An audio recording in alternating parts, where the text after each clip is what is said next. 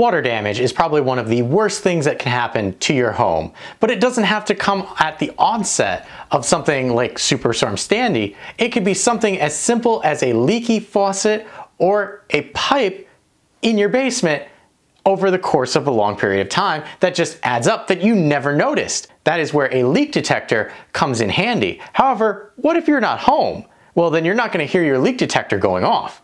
That's where something like the Xsense Smart Water Leak Sensor comes in handy. Hello, I am Wanderer001 and this is my review of the Xsense Smart Water Leak Sensor with base station SW S44. That is the model that gets you the base station and three leak sensors. I will start this review off by saying that Xsense did reach out to me and provide me this system for the purposes of doing an unbiased review, and that's what you're going to get. The big thing separating this system from a regular leak detector is, if we push our box over to the side, you get not only a leak detector, but you get the base station. The base station is going to act as your gateway to receive notifications from your smart leak sensors wherever you happen to have them placed. But because these two talk to each other and then can notify you remotely, that means that there is a setup process for this system. However, I will state the setup process for this is ridiculously simple. In fact, so simple, I made it harder for myself thinking it was more difficult than it was. Let's take a look at that right now. This will be setup process for the Xsense Smart Water Leak Detector 3-pack with base station. First things first, you are going to need an Xsense account so that you can utilize the Xsense app. So I already have my account set up and we want to add our devices. So what we're gonna do is we're gonna come up to the plus sign in the upper right hand corner and then we're gonna select what it is we want to add. So in our case, we want to first add a base station because if we select water sensor, we have to add the base station first. So if you don't know you have to add the base station, you can click on the water sensor and it will say add the base station, or I will come in and say add the base station. We are doing the SBS50 because that's the one that looks like this as opposed to the more tall looking one. So we're gonna hit that and then it's gonna say, hey, it wants access to utilize our camera. So we're going to do only this time. And then there's a QR code on the bottom that we are gonna scan. So we're gonna do that off camera really quickly.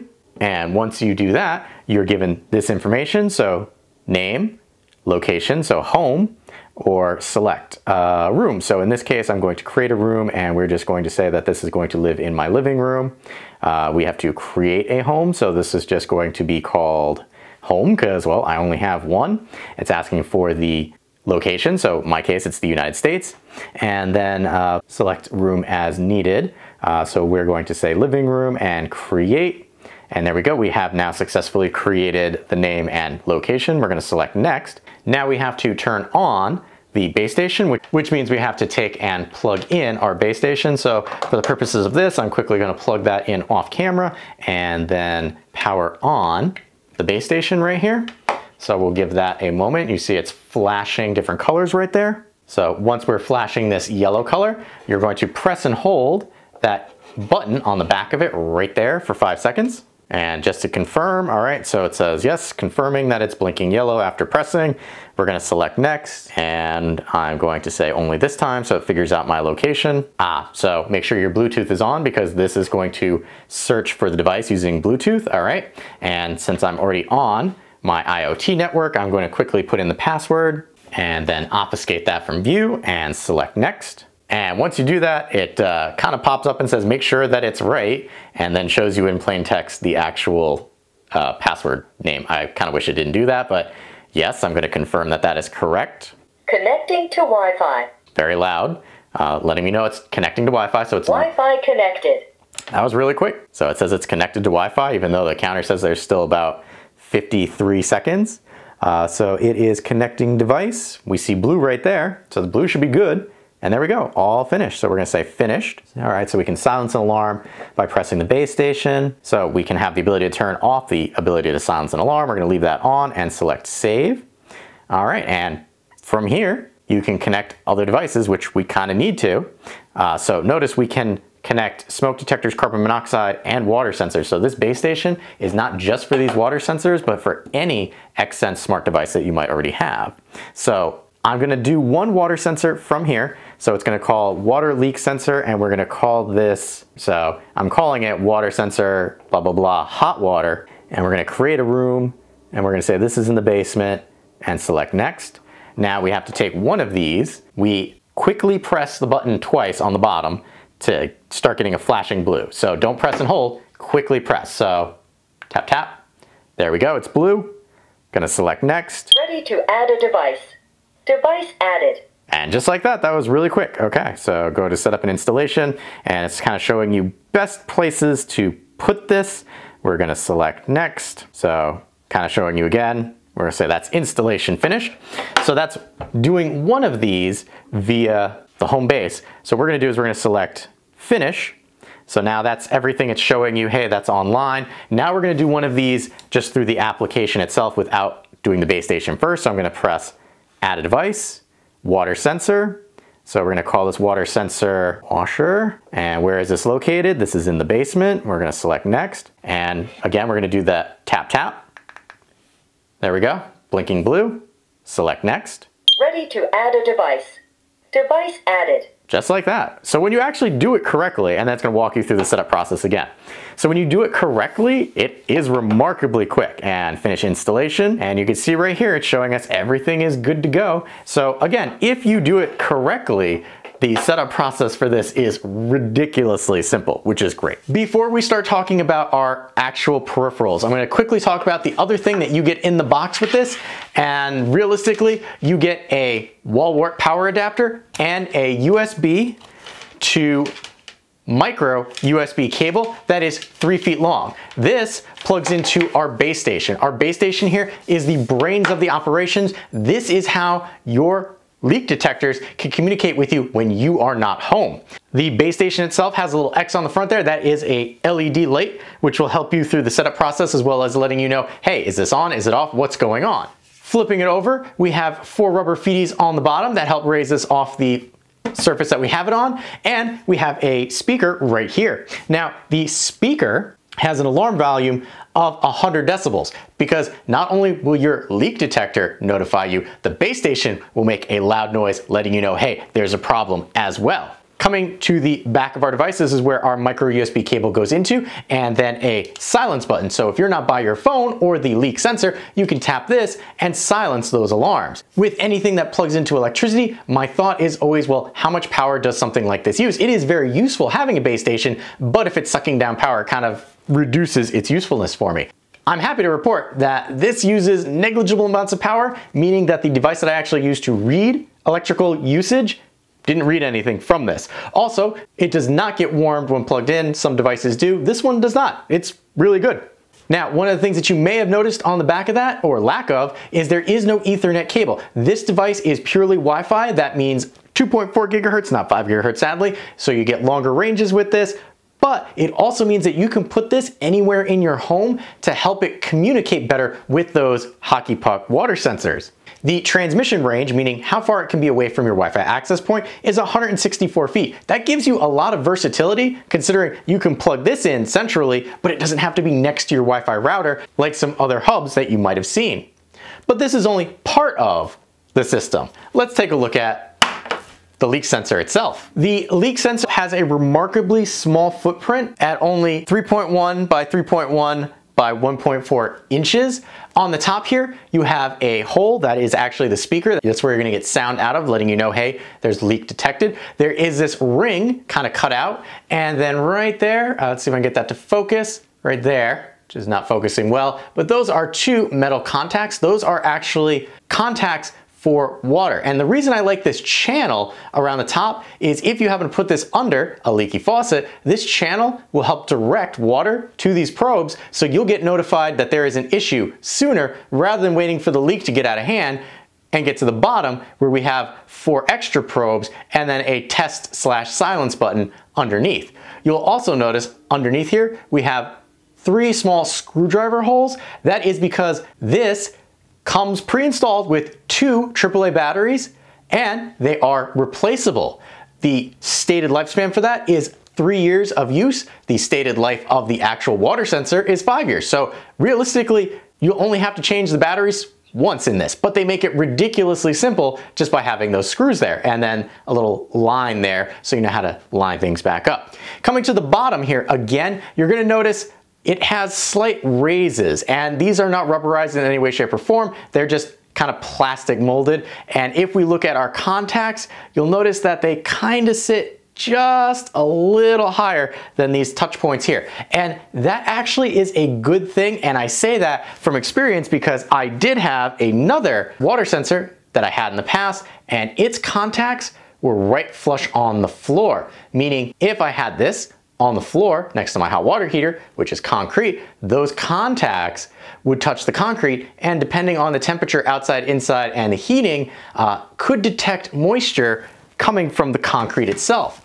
I do not have a problem like that with the contacts being pushed up slightly and not directly touching the floor. If any water starts getting here, yes, it might take a little more before this would go off, but the sensitivity of this is as such that it does not take that much before it goes off. The operational range of the three pack that you get is 1600 square feet per sensor, meaning if you have the hub centrally located somewhere, you can go 1600 feet this way, this way, and the other way, allowing you to spread them out around your home.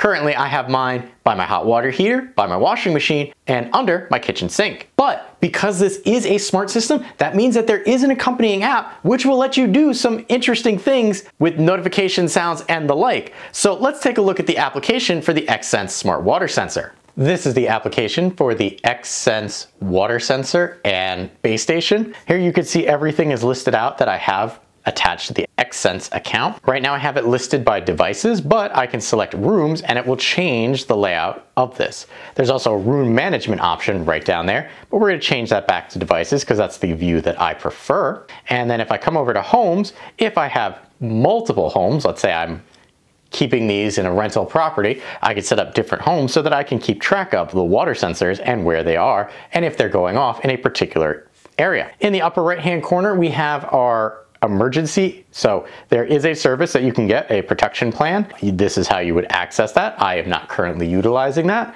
The upper right hand corner next to that, there is a plus sign. This is how you can add more devices to your account.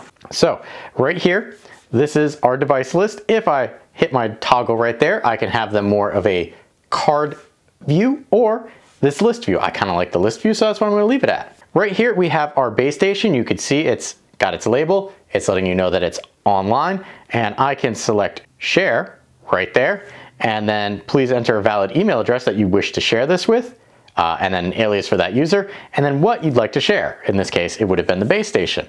But I'm going to select the sprocket icon, which brings us into the actual options for the base station. That would be the same as if I just tapped on the base station image itself. You get a nice depiction of what it is right there. You have your naming convention, so I just called it base station. You can tell what room it's in. So right now I have it as part of my living room. I can move that to a different location if I wanted to. We also have our volume control for mid-max because there is a speaker on the base station itself letting you know if there's a water alarm or an alarm elsewhere. Now we have our silent alarm on the back of the base station. There is a button. This option will allow you to use that button to turn off an alarm, so silence it. Right down here we have our Wi-Fi network, device information, which I'm not gonna show you because there's a lot of sensitive information in there, and then device sharing, so similar to how we did before, except right within the settings. And that's everything that you can do with the base station. Now, coming into our actual water detection devices, we could see a blue progression that lets us know, hey, this is its Wi-Fi connectivity, as well as a battery icon next to it. There are three bars in that battery icon, letting you know how much battery is left per device. Again, if we tap on a singular device, that will bring us in, or we could select the settings sprocket to the right to get us access. Again, a nice depiction of the device itself as well as its network connection and battery percentage. We have our name right here. Tapping on that will allow you to edit the name if you want to. I'm gonna cancel out of that. Again, room, where is this located? Again, if you're creating these room groups, you can do that right from here by selecting add another. Device information, again, sensitive information in there. It'll show you firmware, things like that, device MAC address.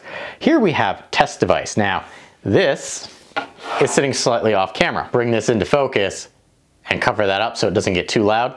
But we're gonna test the device, cover up the sound, and give that a second to test.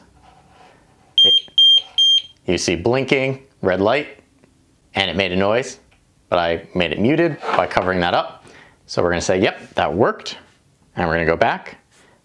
We're done. We know we, we are confirming that we're ending that test. Here we have device settings, volume control for the puck itself, min-max, and then what specific tone you'd like to have for the base station. So right now it's on tone one. I can change it to tone, tone three, tone two, tone one, and you could do that per puck. So in my case, if I have three pucks, I could change the sound so that each puck made a different noise. I'm just gonna leave it on that right now. So those were our sounds. We have help and feedback. So again, this is going to be built-in help for your devices. And then coming down here, we have our notifications. So will you get a push notification per alarm trigger, alarm end, device silenced, device test, and low battery. You are able to limit your notifications. I pick the ones that I prefer to see pop up. And then all the way down here at the bottom, we can select remove device and that will remove it from our actual lineup here. Now that's all under our home icon right there. If we come over to history, this will show you a history of what has happened. So right here you can see device test, device test, and it lets you know which one was tested. And then right here, water leak uh, was triggered. And we can come up to our calendar icon right there. And you'll notice if there's a red dot, that indicates when something happened. So in this case, tested, there was a leak. I silenced the device, no more leaks put it back in place and it triggered again, but then I turned it off and there were no, and there were no more leaks.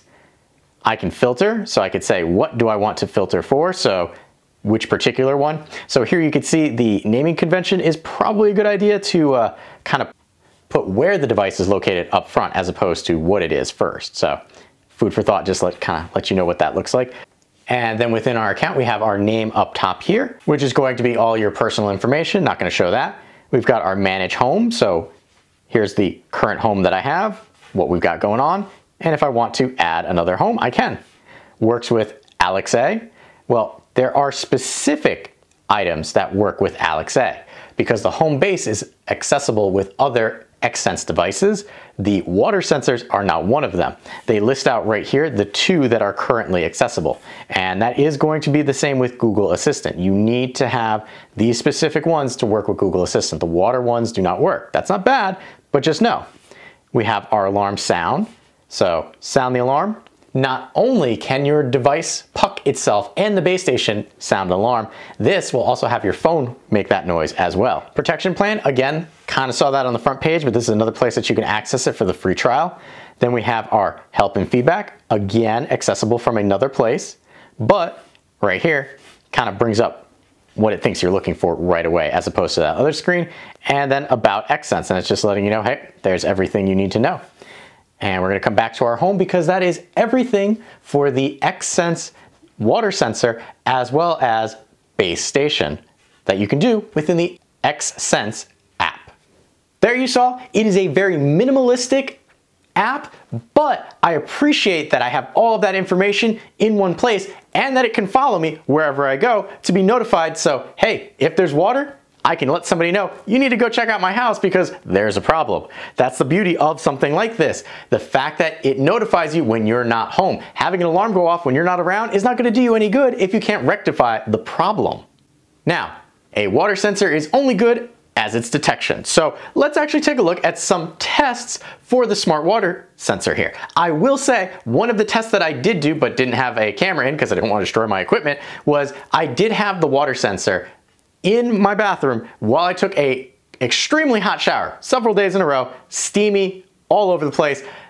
That did not set this off, which is important. You don't want it to be set off with steam, even if it's condensating on the contacts there. You want it to only really be for actual water. So that is something that I tested and it did not go off, which is great. But let's actually take a look at how the top contact sensors work and what it's like underneath here.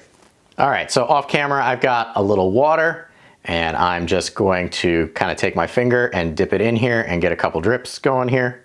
There's one right on the contact sensor, but it might not be enough, so we're gonna do it again. Now we've got two. There we go. That's this and the base station going off. Alarm off. And I also was getting push notification right there that the Xsense was going off. And you can see just how little water actually set that off. You do notice that it does need to touch two of them to complete a connection. But it's also that easy to turn off, which is very nice. So there you go. That's, that's as little water as you would need to set that off for the top. All right, using that same bit of water, we're gonna dribble into this platter until it goes off. And there you can see. I'm doing a horrible job. There we go. Alarm off. And that's my phone going off again, so there we go. That little bit of water, dry that off really quick, and then show you just how little water actually got in there to set it off, not including what I dribbled. But as you can see, it is very responsive and quick. The base station goes off, the hockey puck itself goes off, and you get a notification just like that. That's what you want in a leak sensor. One thing that I like with this being part of a system is you can expand your water sensor needs as needed. Xsense also does sell the sensors separately or the base station separately. But if you've already got a three pack like I did, you can just build out your sensors. Another thing that a lot of people might not think about is, hey, I don't necessarily like having a hub. Well, I used to be like that too. My problem, the more smart devices that I started getting in my house, the more I bog down my Wi-Fi network. So if I've got six of these and they don't connect to a base station, but rather directly to my Wi-Fi, that's gonna bog down my Wi-Fi system. I've come to appreciate having a hub and the hub that comes with the water sensors here is also compatible with some of their smoke and carbon monoxide detectors. So you could have an, an Xsense system built out using just one hub, which is really great. As you might suspect, the water sensors themselves are IP66 rated because they are going to get wet, as you saw. The volume can be all the way up to 110 decibels, but again, manipulated through the app depending on your needs. And it's that versatility and connectivity that I really like about the, the Xsense Smart Water Leak Sensor and base station combo. For the price and features, I think that this system is a very strong buy, and I'm actually happy that Xsense reached out to me to review this product because I was in the market for a new smart leak sensor. So if you are also in the market for a leak sensing system, I highly recommend checking out the Xsense Smart Water Leak Sensor 3-pack. Only have one here because the rest are in place already to help give you the peace of mind that you're not having leaks while you're not home. With that being said, I have been Wanderer001. If you have any questions or comments, please feel free to leave them in the area below. And as always, thanks for watching. If you found this video helpful, consider giving it a like as that will help other people find the video as well. If you like what I'm doing here, you can always help fuel the next review by buying me a coffee, link in the description below. Last but not least, if you want to be notified when I upload a new video, you know what to do.